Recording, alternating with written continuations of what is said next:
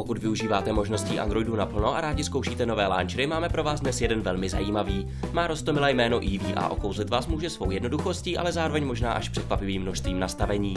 Na první pohled je jasná inspirace vývojářů. Vzad Launcheru je vlastní variací na Pixel Launcher od Google, ale není to prostá kopie, kterých je v obchodě Google Play plno. Grafika má vlastní styl a třeba ani takové swipenutí do Google Now tu nenajdeme. Co tu ovšem je, je například globální vyhledávání napříč systémem i internetem nebo šuplíček všech aplikací přístupný pouhým gestem. Ten je v základu ve formě seznamu, ale stačí klepnout na ikonku v pravém horním rohu a máte tu klasickou plochu aplikací.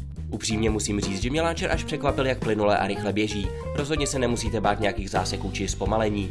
Avšak zatím se může zdát, že je EV pouze prostý, co možná nejjednodušší launcher, který toho mnoho nenabízí.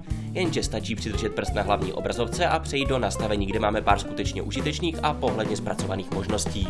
Předně si lze upravit hlavní obrazovku. Změnit můžete nezávisle na sobě počet sloupců i řad, velikost ikon a zobrazení názvu aplikací.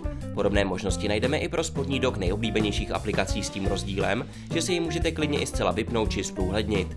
Snadno můžete změnit i vzhled ikon pouze pár klepnutími, vybrat si ze tří tvarů složek aplikací či si pohrát s nastavením notifikačních odznáčků u ikonek. Ty můžete zcela vypnout, zvolit jejich velikost nebo je pozapínat jen u konkrétních aplikací. A dále tu máme prozatím jen pár gest, ale jak můžete vidět, vývojáři slibují, že brzy přijde možnost nastavovat si vlastní gesta. Jsou tu však i další možnosti jako nastavení vyhledávací lišty na domovské obrazovce nebo třeba záloha a obnovení vašeho nastavení launcheru pomocí Google účtu.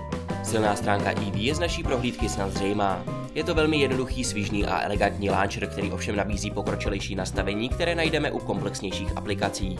Vývojáři navíc pozorně naslouchají odezvě od uživatelů a v celku často přidávají i zcela nové funkce. Tomu všemu je launcher zcela zdarma a nikde nenarazíte ani na reklamy. EV samozřejmě nemusí být pochutí každému, ale pokud vás alespoň trochu zaujal, rozhodně se ji stáhněte, určitě vás mile překvapí.